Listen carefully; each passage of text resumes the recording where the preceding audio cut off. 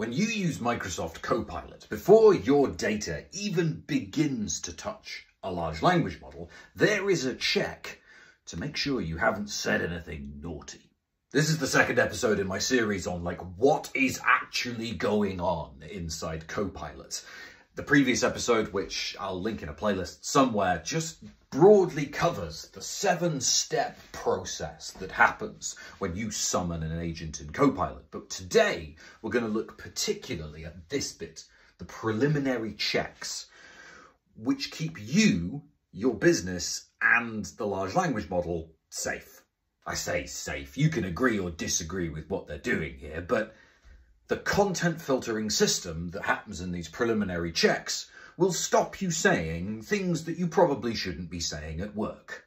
And they're not generative AI. So when you type something in that Copilot prompt box and press enter, the first thing that happens is that that piece of text that you have just written out gets fired off to a series of machine learning classifiers that Microsoft have written, though for obvious security reasons, they're pretty tight-lipped about how exactly they're working. But the documentation says that they are classifiers, and they classify the text that you just wrote according to the risk for a variety of different things. So there's stuff like categorization for hate speech, categorization for adult themes, categorization for violence, and that sort of thing.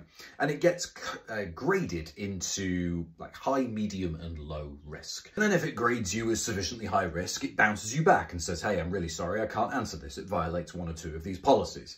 If you want to play fast and loose with the P45, go ahead and type something wildly offensive into your Works Copilot box, press enter, and Watch the resulting message and emails from HR come through. This large suite of machine learning models is called the Azure AI Content Screen. And it's also enabled, actually, if you go ahead and build uh, models using AI Agent Foundry. Actually, it's just called AI Foundry these days, isn't it? AI Foundry. If you spec a model from there, you have, by default, also enabled this series of machine learning models in front of that. But in a Copilot context, there's also a couple of other extra things going on. So there's not just machine learning models for, you know, naughty words.